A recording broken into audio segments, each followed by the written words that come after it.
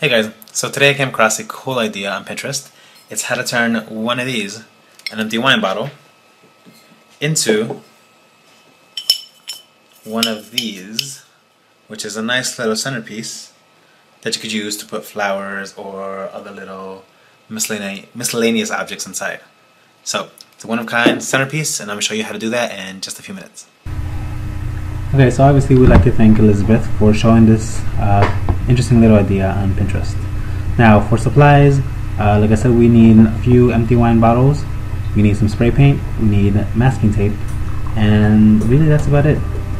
So, the first thing you want to do is peel off the labels. As you can see here, what we've done is place our bottles in a large pan and boiled it, boiled them in water.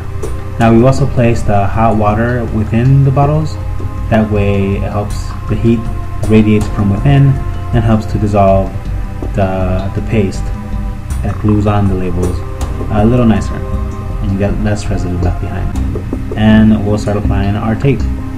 Now the tape is what gives our bottles our design. You can create any design you want, be creative. As we saw in the example earlier, uh, you can create polka dots, you can do crisscrossing designs, um, you can swirl the tape around your bottle like so and you know just do do whatever comes to mind and you know it's fun to also use multiple bottles. That way you can create many different designs or several of the same design to create a cohesive and very elegant look for your centerpiece. So uh, finally I do want to point out that we use regular masking tape. I would recommend that you buy the blue tape that people use to paint with to create nice clean edges.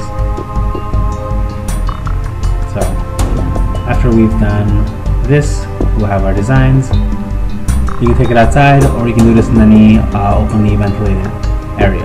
And just spray your bottles with the spray paint.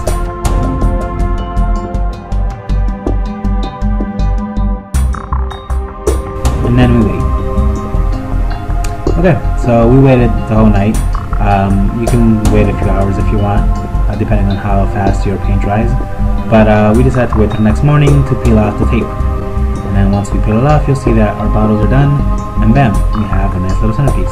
So try it, let me know what you guys think. Enjoy!